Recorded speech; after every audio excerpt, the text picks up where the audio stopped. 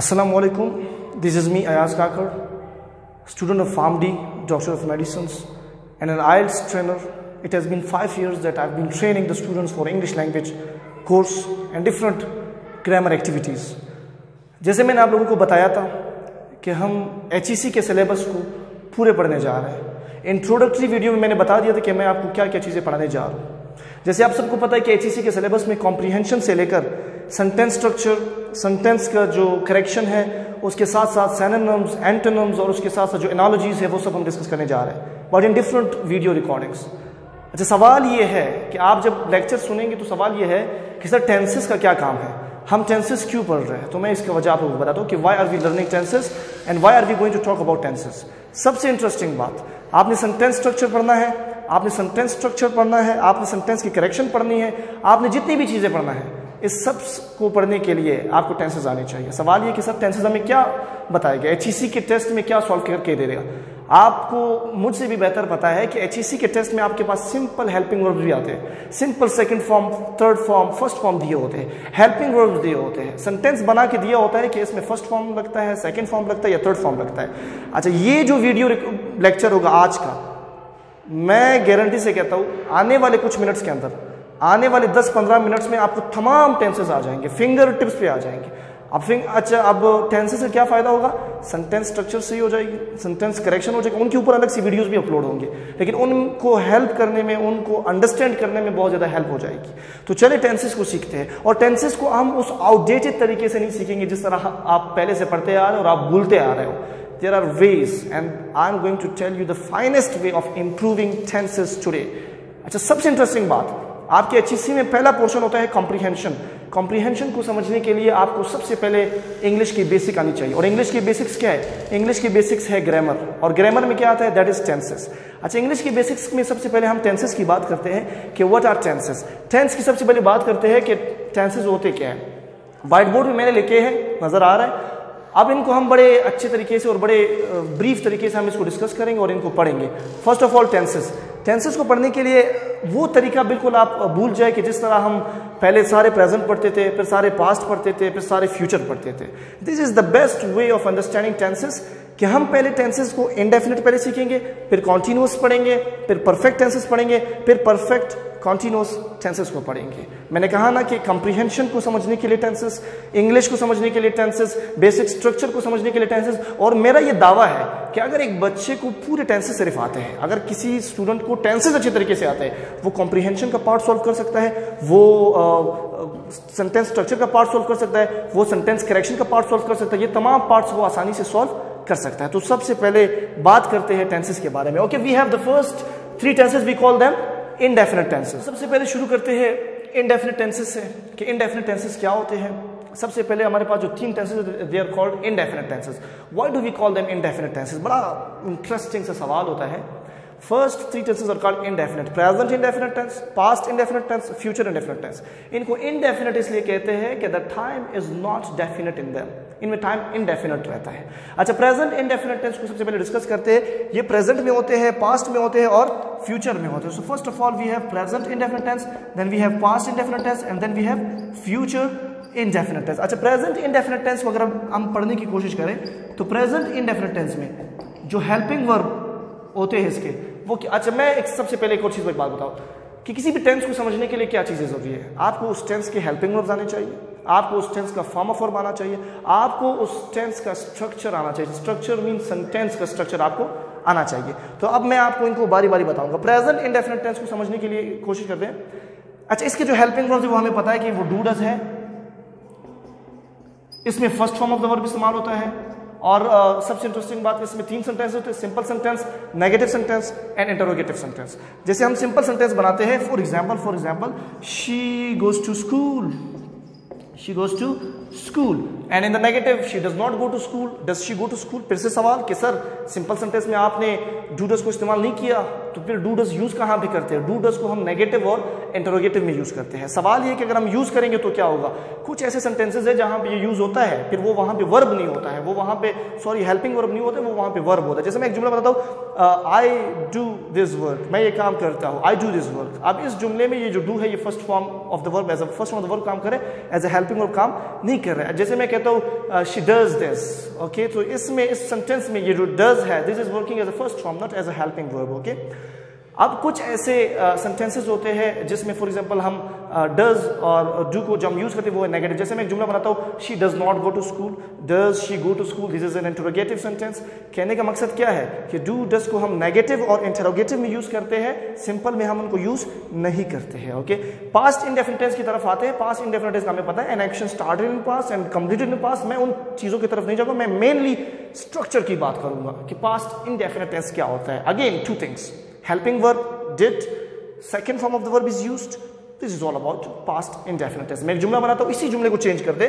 she goes to school she went to school past indefinite she went to school negative में change करेंगे तो she did not go to school she did not go to school सवाल ये है कि sir आपने did लगाया, लेकिन यहाँ पे आपने फ़र्स्ट फॉर्म यूज़ किया। अभी आपने कहा कि सेकंड फॉर्म यूज़ करते हैं। बिल्कुल सेकंड फॉर्म यूज़ करते सिर्फ़ सिंपल सेंटेंसेस नेगेटिव सेंटेंस में जब डिड लग जाएगा तो डिड के फॉर्म बाद हम फ़र्स्ट फॉर्म यूज़ करेंगे। Why because did is already a second form of the word got it अच्छा इंटरोगेटिव की बात करते हैं। Did she go to school and question mark फिर से वही सवाल कि, सर डिड आपने यूज़ किया?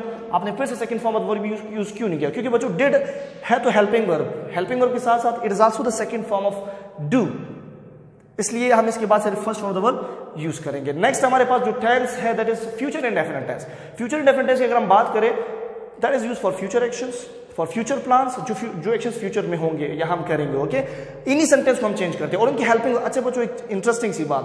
कोई भी फ्यूचर टेंस आता है तो उनके हेल्पिंग वर्ड विल और शल ही होते हैं। Will shall will be shall be will have shall have will have been shall have been okay तो विल एंड शल को डिस्कस करते हैं इन्हीं सेंटेंस को चेंज करते हैं। She will go to school she will go to school. Okay, she will not go to school. Will she go to school? ये बड़ा सिंपल तरीका है टेंसेस को समझने का। आपने देखा कि हम फ्यूचर एंड डेफिनेट टेंस में भी फ़र्स्ट फॉर्म लगाते हैं और विल के बाद और शल के बाद हम क्या लगाते हैं? First form. विल, शल के रूल्स तो आपको पता है, तमाम प्रोनाउंस को हम विल के साथ यूज़ कर सकते हैं। लेकिन शल के साथ हम सिर्फ़ आई वी यू ते और आप ऑप्शनल है वहाँ पे you may use it or not okay आते हैं नेक्स्ट अच्छा फिंगर टिप्स याद हो जाने चाहिए। पहले थे हमारे पास प्रेजेंट इंडेफिनेट टेंस ड्यूटर्स फिर था डिड फिर था will and shall first form second form again first form present indefinite tense में first form past indefinite tense में second form future indefinite tense में फ़र्स्ट फॉर्म ओके ये थे हमारे फ़र्स्ट इंडेफिनेट टेंसेस अब हम बात करते हैं कॉन्टिन्यूस टेंसेस कॉन्टिन्यूस नाम से आपको पता चल जाना चाहिए कि कॉन्टिन्यूस टेंसेस उन टेंसेस को कहते हैं जहाँ पे हम किसी भी एक्शन की कंटिन्यू होने की बात करते हैं। Present continuous tense past continuous tense future continuous tense what are the helping verbs of present continuous tense is are am अच्छा इजार है में, कौन सा फॉर्म ऑफ़ द वर्ब इस्तेमाल होता है? आईएनजी फॉर्म इस्तेमाल होता है। अच्छा सवाल ये है कि आईएनजी फॉर्म कैसे यूज़ करते हैं, सर? जितनी भी कंटिन्यूस टेंसेस इंटरेस्टिंग बात ये है कि पहले के तीन कंटिन्यूस टेंसेस और आखिरी के तीन कंटिन्यूस टेंसेस सब में क्या यूज़ होता है? First form of the verb with ING किस लिए इस्तेमाल होता है? बिकॉज़ अच्छा ये टेंसेस से हट कर भी अगर हम बात करें, किसी भी ऐसे एक्शन की अगर हम बात करें जहाँ पे एक एक्शन कंटिन्यू होता है तो वहाँ पे हम किसकी बात करते हैं?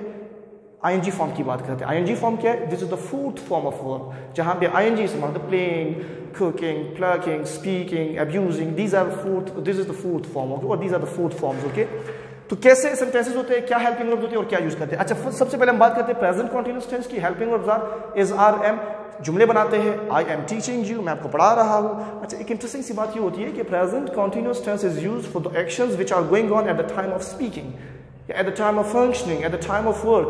जैसे मैं आपको पढ़ा रहा हूँ, I am teaching, she is teaching, they are taking class, we are taking class, we are abusing the teachers. तो इस तरह के sentences के लिए हम क्या use करते हैं? Present continuous tense use करते हैं. Next tenses past continuous tense. अच्छा past continuous tense क्या होता है? This tense वही बात है बच्चों जो एक्शन आपने पहले में जारी थे, माजी में जारी थे। तो हम, उनके लिए हम वाज एंड वर यूज़ करते हैं। सिंपल सी बात है। अब सवाल ये कि एच में सवाल कैसे आएगा? बच्चों एच में सवाल ऐसे आएगा कि आपसे डिफरेंट सेंटेंस दिया होगा और कहते हैं, इसमें कौन सा हेल्पिंग वर्ड लगेगा? वाज एंड वर्ड लगता है। कौन सा हेल्पिंग वर्ड लगेगा? एज लगता है। प्रेजेंट कॉन्टिन्यूस की बात हो रही है। तो इज़ के बाद आई फॉर्म या एज आर एम लगेगा। एज आर एम में आपसे फ़र्क पूछेंगे इस को कहाँ यूज़ करते हैं आर को कहाँ यूज़ करते हैं और एम को कहाँ यूज़ करते हैं। इसी तरह अगर हम पास कंटिन्यूस टेंस की बात करें again they can ask you the difference between was and were future continuous tense की अगर हम बात करें, मैंने बताया था, तमाम फ्यूचर कॉन्टिन्यूस टेंसेस में तमाम फ्यूचर टेंसेस में क्या इस्तेमाल होता है? विल एंड शल लेकिन एडिशन होता जाएगा। पहले विल एंड शल था, अब will be and shall be sentences वही है बच्चों, जैसे हम बनाते आ रहे she is playing cricket past में she was not playing cricket या she was playing cricket future में she will be playing cricket अब सवाल ये है कि फ्यूचर कॉन्टिन्यूस टेंस किस लिए इस्तेमाल होता है? Future continuous tense is use for the actions which will be going on in the future which will be progressive in the future which will be functioning in the future तो will be और shall be के फ़ौरन बाद क्या लग जाएगा? ING form लग जाएगा। अच्छा नेक्स्ट तीन टेंसेस की बात करते हैं। They are called perfect tenses perfect tenses कौन से होते हैं? वो तमाम टेंसेस जिसमें हम किसी भी एक्शन के परफेक्ट होने की बात करते हैं कंप्लीट होने की बात करते हैं कंप्लीशन की बात करते हैं परफेक्शन की बात करते हैं। सही है? तो आपको पता हो जाना चाहिए जिस भी सेंटेंस में third form of the verb इस्तेमाल होता है third form okay we call them perfect tenses और परफेक्ट टेंसेस में इंटरेस्टिंग बात ये है कि हम इनमें कौन सा फॉर्म ऑफ़ वर्ब इस्तेमाल करते हैं? Third form of the verb which form of the verb do we use in this perfect tenses third form of the verb अच्छा प्रेजेंट परफेक्ट टेंस है प्रेजेंट परफेक्ट टेंस हमें पता है इनकी present perfect tense के जो helping verbs है, वो है has and have past perfect के हेल्पिंग वर्ब्स है हैड फ्यूचर परफेक्ट का जो हेल्पिंग वर्ब है वो वो है विल हैव शल हैव ये है helping verbs of perfect tense अच्छा प्रेजेंट परफेक्ट टेंस क्या होता है? This tense is used for those action uh, which are done in the recent present or the results are present. सही है? सवाल ज़्यादातर ये होता है कि पास्ट इंडेफिनेट टेंस और प्रेजेंट परफेक्ट टेंस में क्या फ़र्क है सर पास्ट इंडेफिनेट टेंस उन एक्शंस के लिए इस्तेमाल होता है जो बहुत पहले हुए हैं।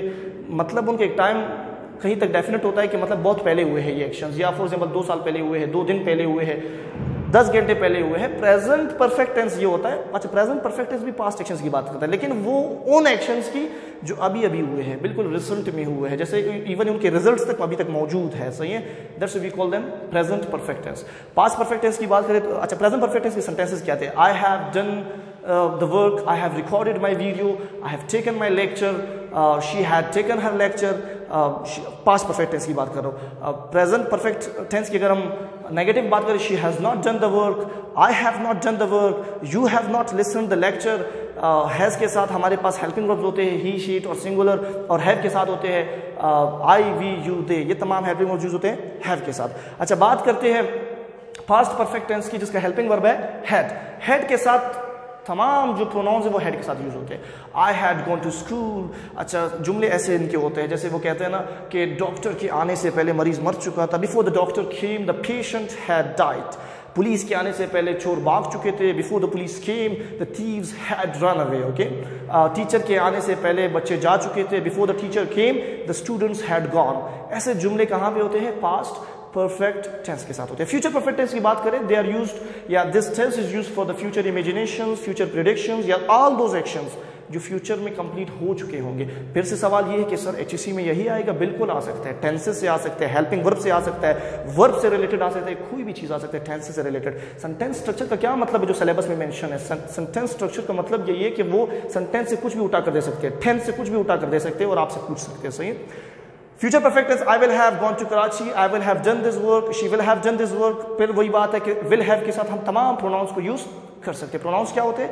He she it I we you they personal pronouns होते हैं सब्जेक्टिव प्रोनाउंस होते हैं ऑब्जेक्टिव प्रोनाउंस होते हैं। उस पर कभी डिटेल लेक्चर होगी ओके नेक्स्ट हमारे साथ जो आखिरी तीन टेंसेज है we call them perfect continuous tenses sir perfect continuous tenses क्या होते हैं? अच्छा नाम से आप देख रहे हैं कि परफेक्ट भी है कॉन्टिन्यूस भी है। क्या मतलब? अच्छा ये तमाम वो एक्शन होते हैं जो कभी माजी में जारी हुए, शुरू हुए थे और अभी तक परफेक्टली जारी है। प्रेजेंट परफेक्ट कॉन्टिन्यूस टेंस की अगर हम बात करें प्रेजेंट परफेक्ट कॉन्टिन्यूस टेंस क्या कहता है कि ऐसा एक्शन जो माजी में आपने शुरू किया था, अभी तक जारी। जैसे मैं कहता हूँ, मैं 2020 से पढ़ाता आ रहा हूँ। I have been teaching since 2020 अब कैसा एक्शन है? माजी में शुरू हुआ था, अभी तक जारी है। सही है? हेल्पिंग वर्ब्स क्या है? हैज़ बीन अच्छा प्रेजेंट परफेक्ट कॉन्टिन्यूस टेंस के। Has been have been past perfect continuous tense का क्या है? Had been future perfect continuous tense का क्या है? Will have been shall have been these are the helping verbs of last three tenses last three tenses का interesting बात यह भी है कि इनमें एग्जैक्ट uh, और अनएग्जैक्ट टाइम की बात होती है। सिंस एंड फोर की बात यहाँ पे मैं लिखता हूँ। सिंस एंड फोर की बात होती है। अच्छा सर सिंस एंड फोर क्या होते हैं? एग्जैक्ट टाइम के साथ हम सिंस यूज़ करते हैं और अन एग्जैक्ट टाइम के साथ हम फोर यूज़ करते हैं। एग्जैक्ट टाइम क्या होते हैं? जैसे मैं कहता हूँ, मैं 2020 से पढ़ाता आ रहा हूँ दो हज़ार बीस है दिस इज़ एग्जैक्ट टाइम मैं चार साल से पढ़ाता आ रहा हूँ, ये एग्जैक्ट टाइम नहीं है। This is on exact time मैं जनवरी से पढ़ाता आ रहा हूँ एग्जैक्ट टाइम मैं सुबह दस बजे से पढ़ाता आ रहा हूँ एग्जैक्ट टाइम मैं सुबह से काम कर रहा हूँ एग्जैक्ट टाइम मैं इवनिंग से पढ़ रहा हूँ एग्जैक्ट टाइम मैं तीन घंटों से पढ़ रहा हूँ अनएग्जैक्ट टाइम मैं दो घंटों से काम कर रहा हूँ अनएग्जैक्ट टाइम मैं चार दिनों से आ रहा हूँ अनएग्जैक्ट टाइम दीज आर अभी मैंने आपको थोड़ा उर्दू में इनका फ़र्क समझाया. अब इंग्लिश में इनके जुमले कैसे होते हैं? I have been working since morning since is use with exact time for is use with inexact time और क्या जुमले हो सकते हैं? I have been playing cricket for five years मैं पाँच साल से क्रिकेट खेलता आ रहा हूँ या क्रिकेट खेल रहा हूँ. This is again for with inexact time okay so इनमें सबसे बड़ी बात इनकी होती है। और आखिरी तीन टेंसेस में भी क्या इस्तेमाल होता है? I N G form present perfect tense के कंटिन्यूस टेंस के मैं एग्जांपल्स बनाता हूँ। I have been working since morning I have not been working since morning will I have sorry have I been working since morning past perfect continuous tense की बात करते हैं। I have been working since morning. I had not been working since morning. Had i been working since morning? Future perfect continuous tense की बात करते हैं। I will have been traveling since morning. I will not have been traveling since morning. And will I have been traveling since morning? ये है आपके last three tenses अब मैंने लिखा इसलिए ज़्यादा नहीं क्योंकि टेंसेस को यहीं तक समझना ज़रूरी है एक क्विक सा रिवीजन करते हैं, दो मिनट के अंदर करते हैं, सिर्फ़ एक दफ़ा सुने पहले तीन टेंसेस को हम कहते हैं इनडेफिनेट उनके हेल्पिंग वर्ब्स है do does did will and shall next तीन टेंसेस को कहते हैं कंटिन्यूस टेंसेस पहले एज आर एम फिर वाज वर फिर will be shall be next तीन टेंसेस को कहते हैं perfect tenses helping verbs has and have has and have had will have shall have last three tenses को कहते हैं perfect continuous tenses helping verbs क्या है? वही has been have been had been will have been shall have been form of the verbs की बात करते हैं present indefinite tense first form past indefinite tense second form future indefinite tense first form समझ तो आ रहा है ना? Next continuous tenses की बात करें, तमाम कॉन्टिन्यूस टेंसेज में आईएनजी फॉर्म या फोर्थ फॉर्म नेक्स्ट तीन टेंसेज परफेक्ट टेंसेस की बात करते हैं। तमाम में हम क्या यूज़ करते हैं? Third form of the verb last तीन टेंसेज की बात करते हैं, उनमें हम क्या यूज़ करते हैं? आईएनजी फॉर्म अगेन ये था एक क्विक सा रिवीजन एक फास्ट सा रिवीजन टेंसेस का आने वाले वीडियो में इंशाल्लाह हम कॉम्प्रीहेंशन को डिस्कस करेंगे और कॉम्प्रीहेंशन के साथ साथ एक अच्छे से पैसेज को भी डिस्कस करेंगे और उसमें मैं बताऊँगा कि आपने कॉम्प्रीहेंशन को कैसे डील करना है। Thank you so much and ये वीडियो आप हम तमाम स्टूडेंट्स के साथ शेयर करें, जो एच की तैयारी कर रहे हैं और जितने भी बच्चों को टेंसेस में कन्फ्यूज़न है सेंटेंस स्ट्रक्चर में कन्फ्यूज़न है तो वो टेंसेस को थोड़ा अंडरस्टैंड करके ये सब कर सकते हैं। Thank you so much